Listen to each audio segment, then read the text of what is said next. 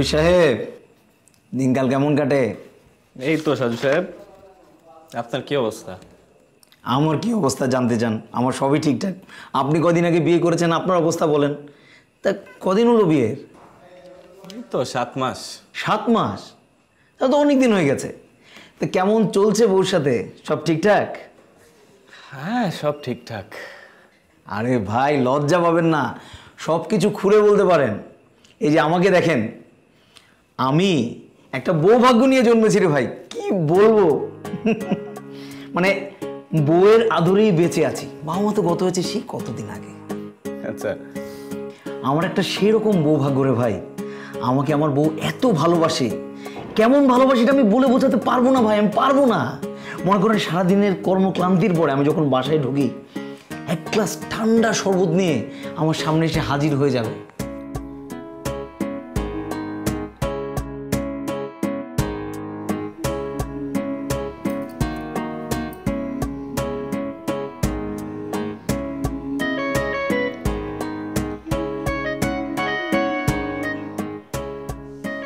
লতা আমাকে একটু পানি দেবে এক গ্লাস।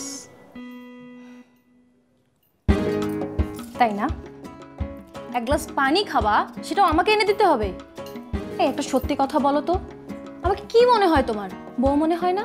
দাসী বান্দি মনে হয় আমাকে তোমার? আমি পারব না। নিজের কাজ নিজে গিয়ে করো। যাও।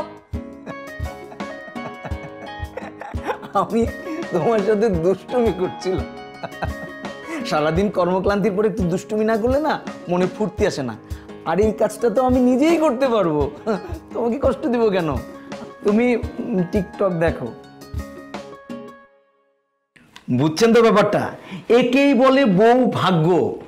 খেতে বসলে আগে আমাকে দেবে, তারপর নিজে কিছু খাবে। আমাকে ছাড়া ভাই খেতে পারে না, খেতে পারে না সে।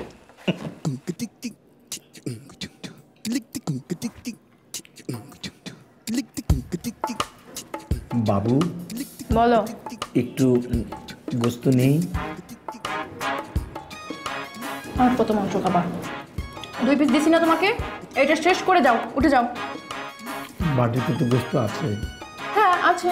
তো কি হয়েছে আমাকে কি তোমার মানুষ মনে হয় না? আমি একটু খাব না?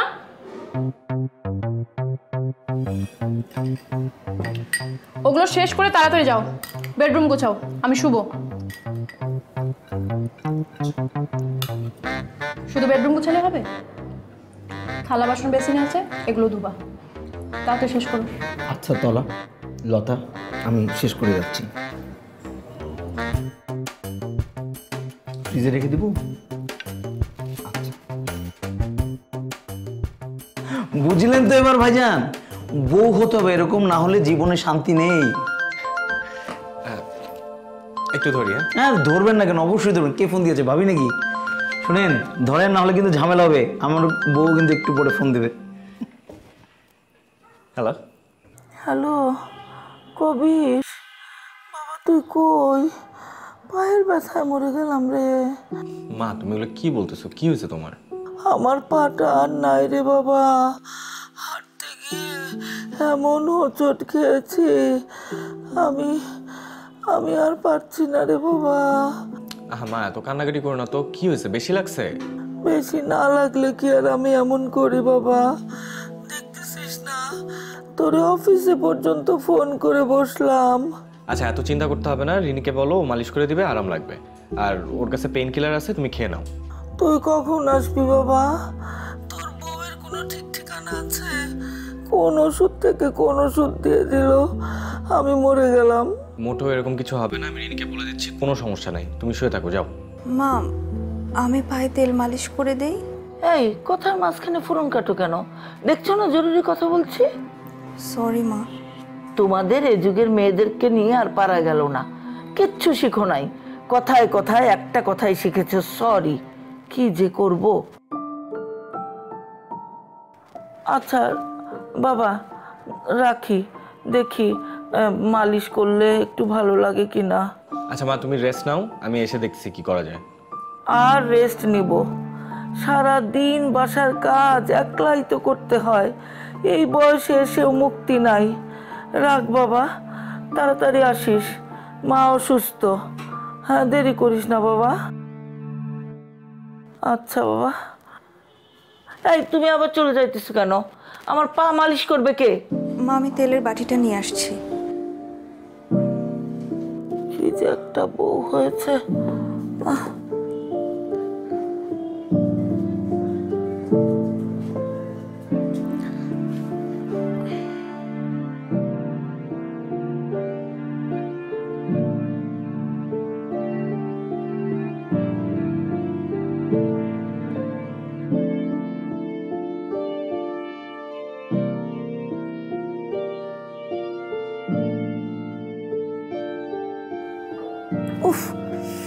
আস্তে দাও আস্তে।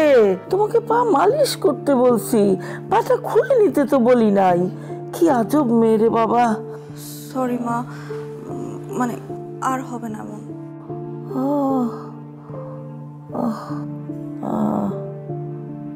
কোভিডটা কখন আসবে?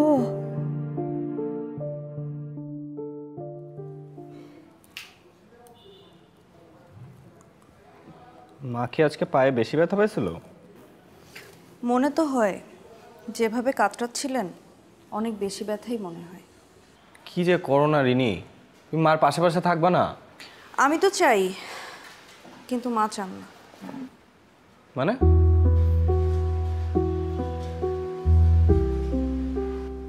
আচ্ছা শোনো। আমি তো তোমাকে আগেও বলছি যে আমার মা একটু অন্যরকম। মানে আমিও মাকে ছাড়া কিছু বুঝি না মাও আমাকে ছাড়া কিছু বুঝে না। আর আমি সারা জীবনই চাইছি এমন একটা মেয়েকে বিয়ে করতে যে মানে আমি মাকে যেভাবে ভালোবাসি আমার বউ এরকম ভালোবাসবে আর কি। তোমার কি মনে হয়? আমি মাকে ভালোবাসি না? মায়ের দিকে খেয়াল রাখি না? আর বাবা আমি আমি তো সেটা বলিনি। আমার লক্ষ্মী বউটা আমি জাস্ট মনে করাই দিচ্ছি তোমাকে। হুম। ছোটবেলায় মাকে হারাই। মা হারানোর যে কি কষ্ট সেটা আমার থেকে ভালো আর কে জানবে? তোমার মাই তো আমার মা। আমি তাকে মন থেকে আমার নিজের মাই মনে করি। কি সুন্দর করে কথাটা বল একদম মনটা ভরে গেছে সত্যি। এই চলো না আমরা কালকে রাতে ডিনার করতে চাই একসাথে কোথাও। মায়ের পায়ে যে ব্যথা মাকে এত অসুস্থ অবস্থায় রেখে আমি কোথাও যাব না। আর তাছাড়াও মা বাইরের খাবার একদম খেতে পারে না। মা রূপচাঁদা খেতে খুব পছন্দ করে মার জন্য একটা রূপচাঁদা কারি নিয়ে আসলে দেখবা গপ গপ খেয়ে ফেলতেছে। আমার মাকে নিয়ে কোনো টেনশনই নেই। তুমি ঠিক তো? মা বাইরের খাবার খেতে পারবেন তো? আমার মা না আমি তো চিনি। একদম শিওর কোনো টেনশন করব না। দাঁড়াও আমি একটু পানি নিয়ে আসি।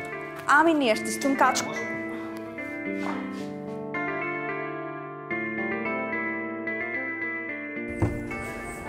আর মা? তুমি এখানে? ব্যথা কি বাড়ছে তোমার? এ মানে ব্যথা বাড়েও নাই। আবার ঠিক কমেও নাই। হাঁটাচলা করে দেখতেছিলাম পায়ের অবস্থাটা কি। যা ঘুমা গিয়া আমি যাই। ঠিক আছে কিছু লাগলে বলল। হ বলব না।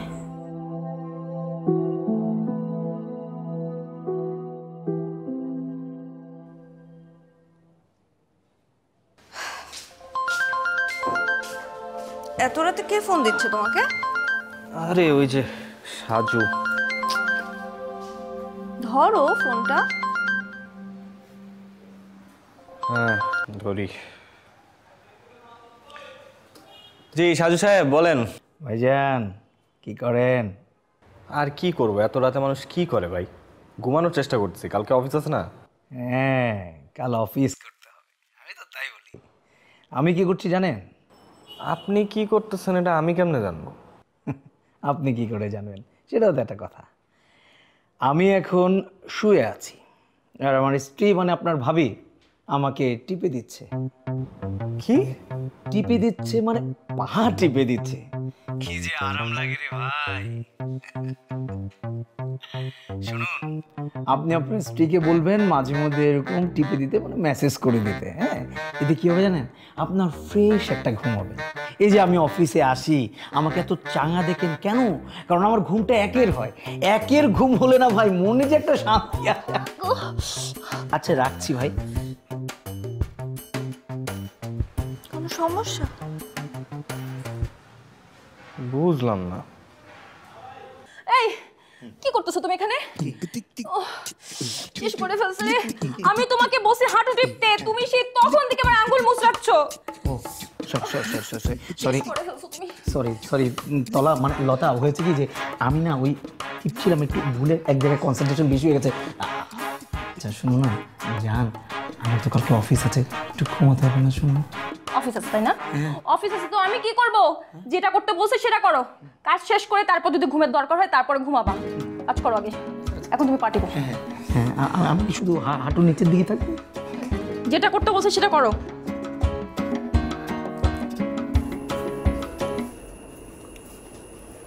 আপনার চা। কবির উঠছে?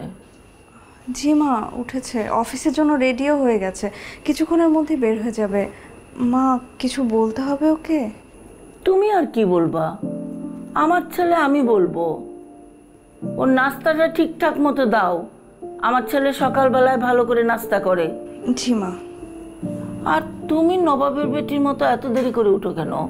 আর একটু সকাল সকাল উঠতে পারো না? এই যে বারান্দায় গাছগুলি ওগুলাতে পানি কি আমি দেবো না আমার ছেলে? মা কাল থেকে আমিই দিব। আপনি আর দুশ্চিন্তা করবেন না। মা আমি যাই। হ্যাঁ আয় সাবধানে যাস। এই এগুলো কি?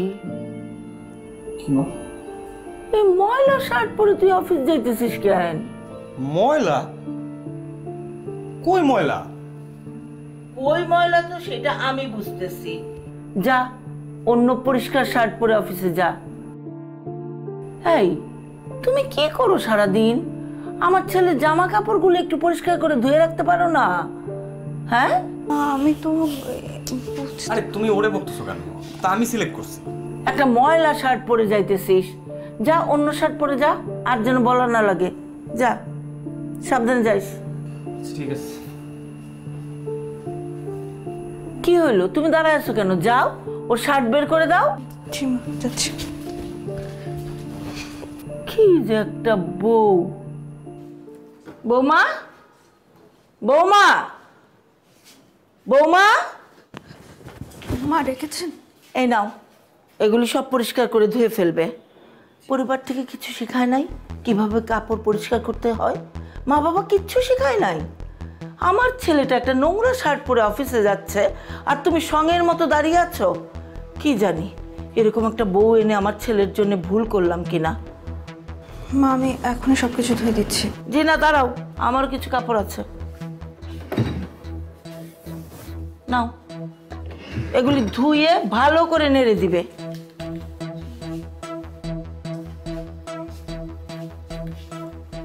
কি যে অবস্থা। আমার ছেলেটার প্রতি যদি একটু খেয়াল রাখতো মেয়েটা, সারাক্ষণ কি যে করে, কি যে করে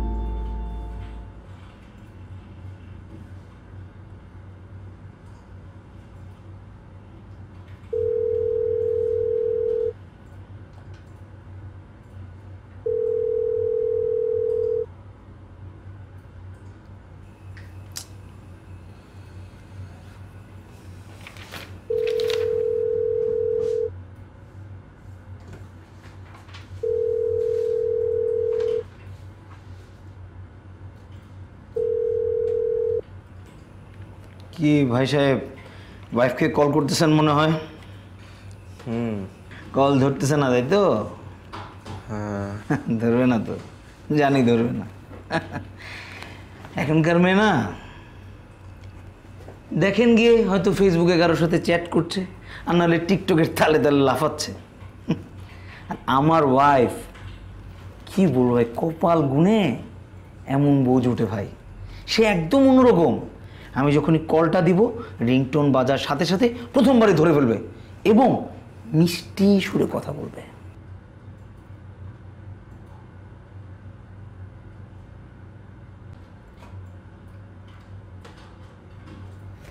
টু টক ভাই, একটু কথা বলে আসি।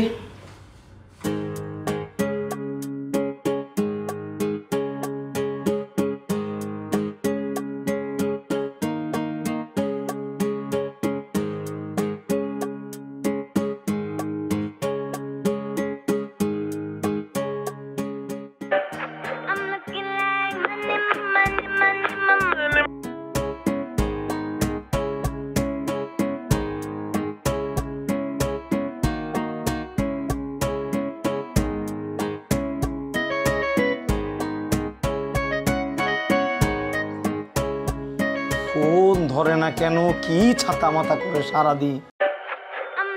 like money.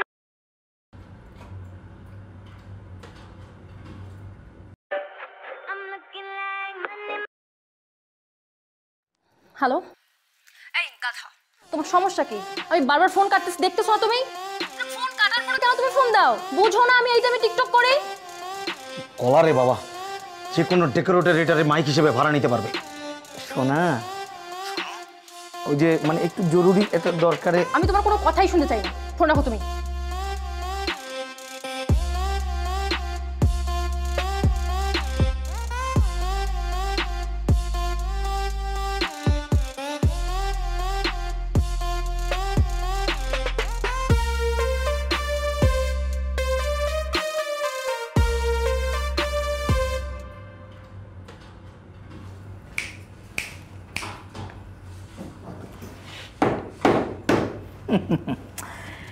একেবারে অন্যরকম বউ রে ভাই স্পেশাল সবার ভাগ্যে এমন বউ জুটে না রে ভাই কপাল লাগে কোয়ালিটি লাগে ভাই কোয়ালিটি বউ পেয়েছি ভাই সেই রকম বউ ভাই। আমি একটু কাজ করি সাজু সাহেব হ্যাঁ? পরে কথা হবে আবার। আরে কাজ করবেন না কেন? কাজই তো করবেন কাজ করতে আসছেন অফিসে কাজ করেন। মাঝে মধ্যে একটু কথাবার্তা বললে হয় কি একটু রিফ্রেশমেন্ট হয় একটু এনার্জাইজারের কাজ করে আর কি আর কি। না না করেন কাজ করেন।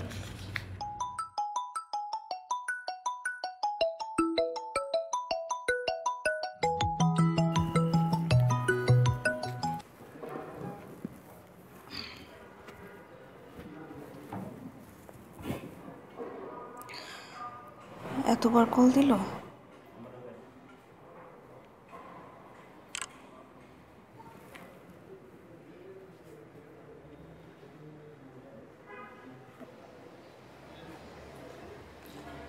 কাপড় ধোয়া হয়েছে? জি মা আমি সব কাপড়গুলো ছাদে মেলে দিয়ে আসছি। আচ্ছা ঠিক আছে। ফোন হাতে নিয়ে বসে আছো কেন? আপনার ছেলে অনেকবার কল দিয়েছিল। আমি ব্যস্ত ছিলাম বলে ধরতে পারিনি তাই ওকে কল দিচ্ছিলাম। এত কল করার কি আছে? কি এত কথা? বাসায় আসার পর কথা বলা যায় না? তুমি জানো না এই সময় আমার ছেলে অফিসে ব্যস্ত থাকে? মা আসলে আপনার ছেলে আমাকে কল দিয়েছিল। হ্যাঁ হয়েছে মুখে মুখে কথা বলতে হবে না। যাও রান্না বসাও। আচ্ছা তোমার সমস্যাটা কি বলো তো? সাত মাস হয় আমাদের বাড়িতে তুমি এসেছ। এখন পর্যন্ত আমরা মা ছেলে কতটুকু লবণ খাই সেইটা ধরতে পারলা না। তুমি জানো না লবণ আমার জন্য বিষ আমি প্রেসারের রুগী সব তরকারিতে লবণ দিয়ে ভরিয়ে রাখো। মা আমার আসলে ভুল হয়ে গেছে।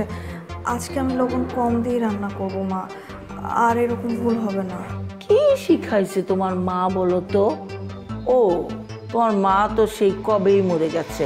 শেখানোর তো সময়ই পায় নাই। মা একটা কথা বলি। বলো। আপনি আমাকে যা খুশি তাই বলেন কিন্তু মা বাবাকে নিয়ে কিছু বলেন না। ওরে বাবা মুখে মুখে কথা। যাও রান্না বসাও গিয়ে।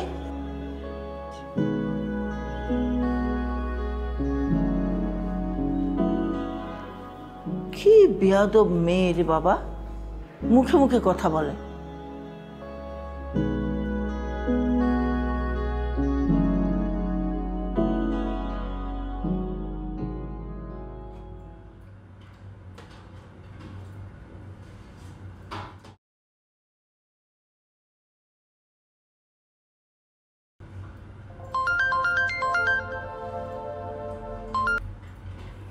বলো। বাবা দুপুরে ভালো করে খেয়েছিস? কেন যে তুমি এত টেনশন করো? আমি খেয়ে নিছি। তুমি খাইছো? হ্যাঁ বাবা আমাদের খাওয়া দাওয়া শেষ। আচ্ছা মা রিনি কোথায়? মানে ও কয়েকবার কল দিলাম ও ধরলো না কল ব্যাকও করল না। কি জানি বাবা আজকালকার মেয়েদের হালচাল বুঝি না। শোন বাবা বাসায় কিন্তু বাজার সদাই কিছুই নাই। তুই আসার সময় সুপার শপ থেকে যা পারিস নিয়ে আসিস। কেমন? আচ্ছা শোনো মা তোমাকে তো বলা হয়নি। আজকে বাসায় রান্না করার কোনো দরকার নেই। আমি আর রিনি ডিসাইড করছি যে আজকে বাইরে খাব। তোমার জন্য খাবার নিয়ে আসব। ও। আচ্ছা ঠিক আছে। তোরা যেটা ভালো মনে করবি। সেটাই তো করবি। রাখলাম। ঠিক আছে মা মা।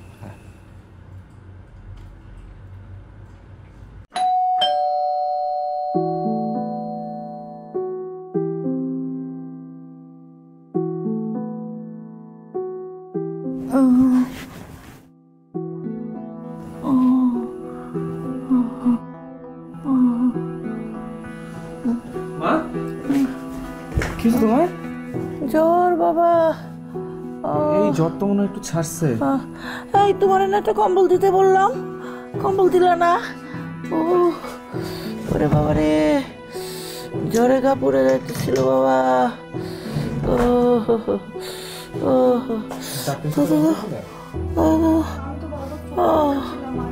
ও আচ্ছা আমি কথা বলে নিচ্ছি। না না। ডাক্তারের সাথে কথা বলতে হবে না। প্যারাসিটামল খাইলে ঠিক হয়ে যাব বাবা। আহ, আহ, তোরা না খাইতে যাবি বাইরে? যা বাবা যা। আহ, না না তোমার এই অবস্থায় কোথাও যাব না। না, আমার কিচ্ছু হবে না বাবা আমি ভালো হয়ে গেছি। কি ভালো হয়ে গেছে? জ্বরে কাঁপতেছো বলে ভালো হয়ে গেছে। চুপচাপ শুয়ে থাকো। তুমি মার জন্য কিছু খাবার ব্যবস্থা করো ওষুধ খেতে হবে তো। প্রথমে একটু জলপট্টি দিয়ে মাথায় আচ্ছা আনো আনো আমি ডক্টরের সাথে কথা বলি। তুমি থাকো হ্যাঁ? আসতেছি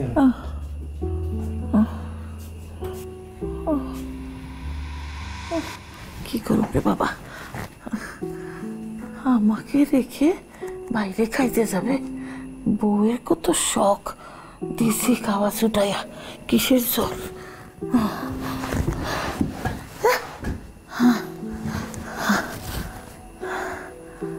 ঠিক আছে না? এখন যা খাইতে।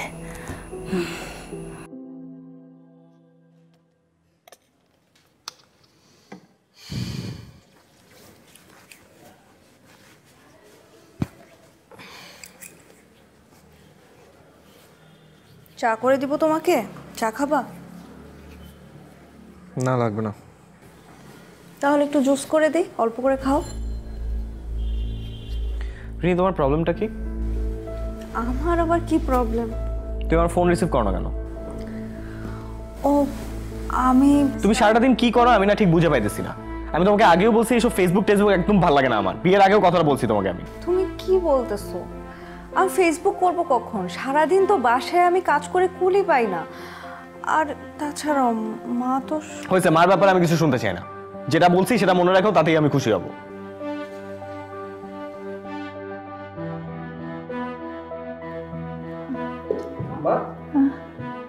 আরে তুমি উঠে আসছো কেন?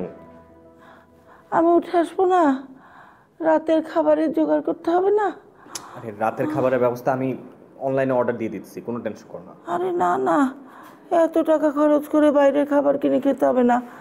বাড়িতে বউ এনেছি কেন? হ্যাঁ হোটেল থেকে খাবার কিনে খাওয়ার জন্য? মা আমি এখনই যাচ্ছি রান্না হয়ে যাবে মা।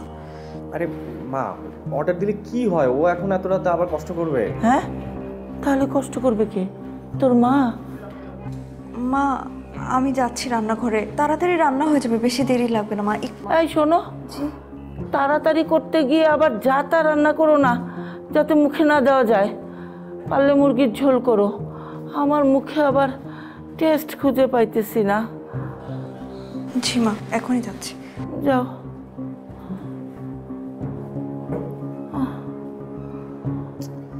চলো তো তুমি তুমি রেস্ট নাও চলো চলো। আহা এটাই ভালো। আমি গিয়ে শুয়ে থাকি। খাবার রেডি হলে আমাকে ডাক দিস হ্যাঁ? ডাক দেবো। শরীরের আর দোষ কি? ভেবেছিলাম বাড়িতে বউ আসলে একটু সুখ করব। সে কপাল কি আর আমার আছে?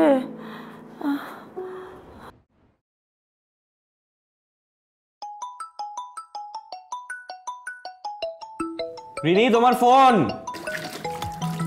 তুমি একটু ফোনটা ধরো না প্লিজ আরে আজব কথা। তোমার ফোন আমি কেমনে ধরবো? কোনো প্রবলেম নাই। একটু ফোনটা ধরে বলো যে আমি বিজি একটু পরে কল ব্যাক করব।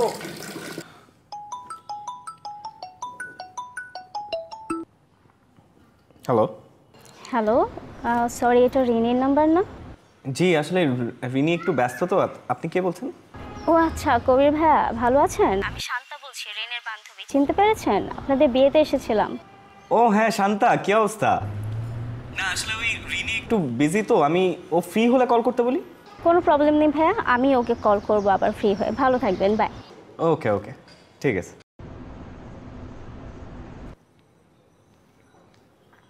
এই শান্তা ফোন দিছিল।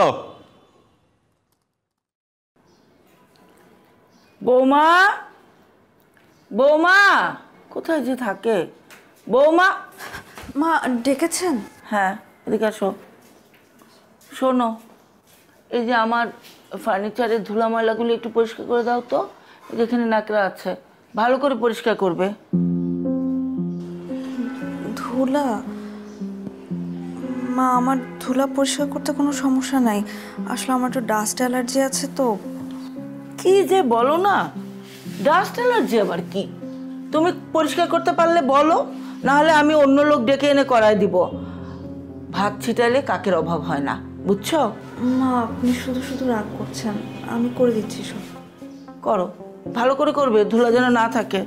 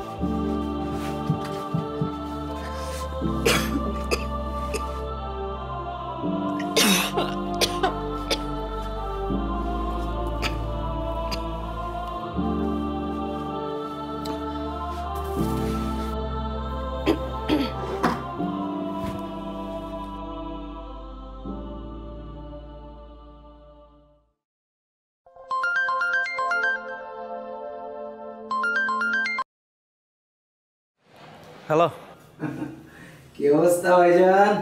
ছুটির দিনে বাসায় বসে খুব আরাম করছেন না? আমাদের আর আরাম ভাই। মধ্যবিত্তর জীবনে কোনো আরাম আছে নাকি? কি বলেন এসব? আমার দিকে তাকায় দেখেন আমার তো শুধু আরামই আরাম। আপনাকে যদি আমি এখন ভিডিও করে দেখাতে পারতাম আমি কি করছি? আমি কি করছি আপনি একটু আন্দাজ করান তো ভাই। আমি এখন ইজি চেয়ারে বসে আছি। বারান্দায় আরাম করে কফি খাচ্ছি স্পেশাল কফি বাহ আপনার তো তাহলে খুবই আরামের জীবন। যে কফিটা আমি খাচ্ছি এই কফিটা আমাকে কে করে দিয়েছে আপনি জানেন?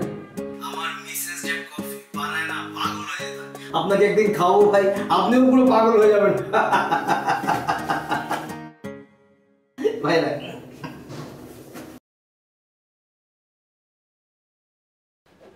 কি করছ তুমি? এই কটা কাপড় তোমার এত সময় লাগে? তুমি জানো না আমি ফ্রাইডেতে বারান্দায় বসে কফি খেতে পছন্দ করি? এতক্ষণ ধরে তুমি এই কাপড় কাচতেছো না? কতক্ষণ লাগবে আর? জানি তো জান শোনো তলা লতা আমি এই পানিটা গরম দিয়ে আসছি আমার হাতের দুইটা কাপড় আছে ধুয়ে আমি তোমাকে যা যাব ঢেলে দিব তুমি বসে বসে খাবা। হ্যাঁ? তাড়াতাড়ি শেষ করো। যদি বেশি লেট হয় না তোমার খবর আছে কিন্তু। না না। তাড়াতাড়ি শেষ করে আসো। আমি গিয়ে বসতেছি।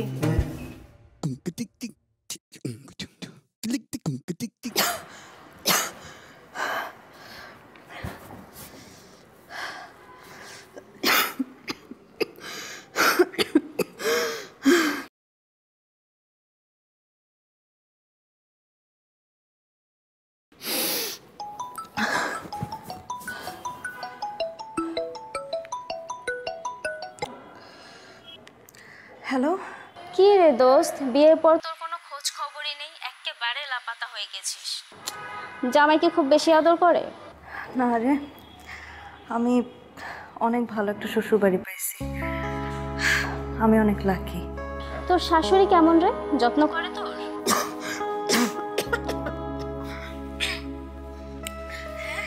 আমার শাশুড়ি মা? শাশুড়ি মা অনেক ভালো। সেই ছোটবেলা মাকে হারাইছি। আমার শাশুড়ি মা আমাকে পুরো মায়ের মতো আদর করে। খুব ভালো রে আমার মাটা। রিনি তোর কণ্ঠ এমন শোনাচ্ছে কেন? কি হয়েছে বলতো ওই একটু ঠান্ডা লাগছে। ঠিক হয়ে যাবে কয়েকদিন পরে। তোর কি অবস্থা? তুই কেমন আছিস? কি হলো বৌমা? তুমি ঘর পরিষ্কার করে এখানে এসে বসে আছো কেন? রান্না বসাবে কে? মা আমি এখনই যাচ্ছিলাম। শরীরটা একটু খারাপ তো আমার তো ডাস্ট অ্যালার্জি আছে। রাখো তোমার অ্যালার্জি। এসব রোগ বালাই নিয়ে আমার ছেলেকে বিয়ে করতে গেলে কেন তুমি? এসব ঢং আমার এখানে চলবে না। যাও রান্না বসাও গিয়ে। একটু পরে আমার ছেলে চলে আসবে। জি মা আমি যাচ্ছি।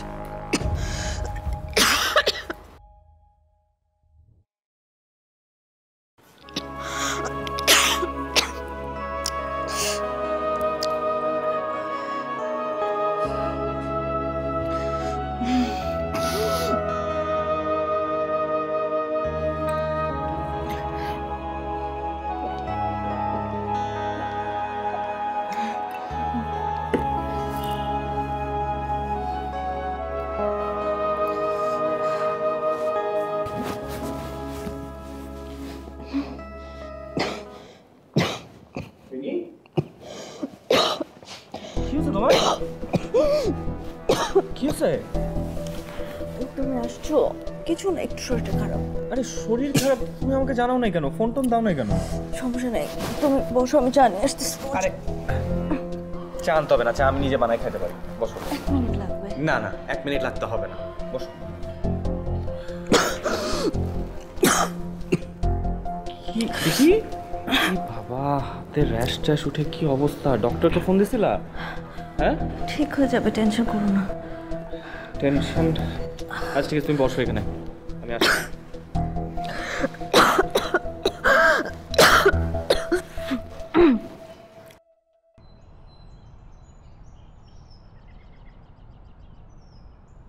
বুঝলাম না আমি কি ছিলে খাইতে পারি না? তোমার সব সময় ছিলে দিতে হবে কেন? খাও না বাবা এমন করো? অনেক ভালোবাসো আমাকে। কত যে ভালোবাসি এটি ঋণী ছাড়া আর কেউ জানে না। হুম আমার বেরি na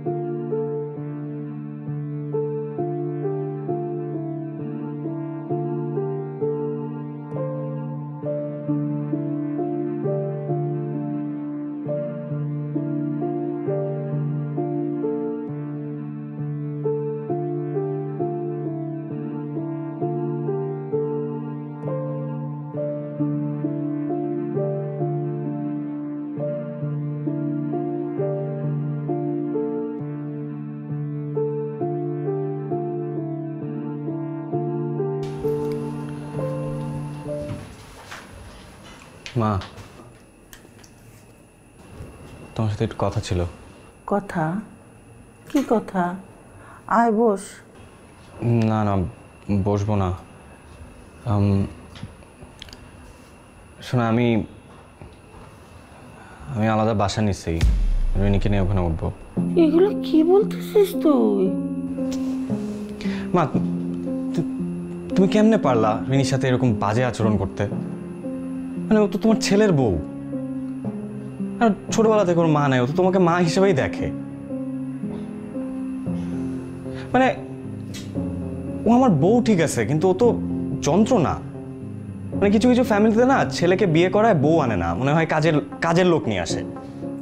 তুমিও তো সেরকমই। আমার এগুলো কিছু ভালো লাগছে না, আমি আলাদা বাসা নিয়ে চলে যেতেছি তুমি এগুলো কি বলতেছো মাকে? তোমার কি মাথা খারাপ হয়ে গেছে? তুমি এইভাবে আমার সাথে কথা বলতে পারো না। তুমিও তো আমাকে কিছু বলো না। তোমার যে ডাস্ট অ্যালার্জি আছে তা জেনেও মাঝে তোমাকে দিয়ে ঘরে ধুলা পরিষ্কার করেছে কেন করছ? তুমি এইগুলো কীভাবে আমি জানি সবই জানি।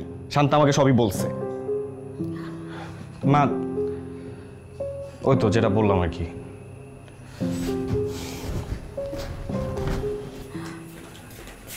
মা আপনি কিছু মনে করবেন না।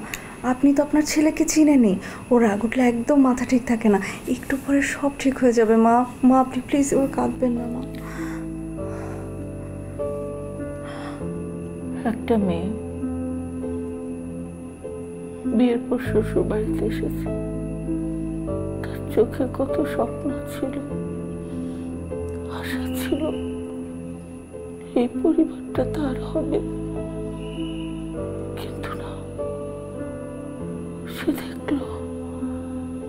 এই বাড়ির সে কাজের মেয়ে ছাড়া আর কিছুই না। দিনের পর দিন শাশুড়ির কটু কথা, অসহ্য যন্ত্রণার মধ্য দিয়ে সে গেছে। কিন্তু কোনোদিন তার মন, তার পক্ষ নিয়ে কোনো কথা বলে নাই। আমার ছেলের বাবা, আমার ছেলের মতো পক্ষ নেয় নাই। যতদিন শাশুড়ি বেঁচে ছিল আমি তো সেগুলোই দেখেছি, মা। আমি তো সেই সবই শিখেছি। কিন্তু আমার আজ খুব আনন্দ হচ্ছে, জানো বৌমা। খুব আনন্দ হচ্ছে। আমার সন্তান তার বউয়ের হয়ে প্রতিবাদ করেছে। মা আমি এতদিন যা করেছি, সব ভুল করেছি। মা, তুই আমাকে ক্ষমা করে দিস, মা। আমার ছেলেকে নিয়ে তুই অন্য বাসায় চলে যাস না। আমি বাঁচবো না, মা। আমি আমার ছেলেকে ছাড়া বাঁচবো না। আপনি ভাবে বলবেন না, মা। আমরা আপনাকে ছেড়ে কোথাও যাব না। মা, আমি একবার মা হারাইছি। বারবার তো মা হারাবো না, মা। বলবেন না এইভাবে মা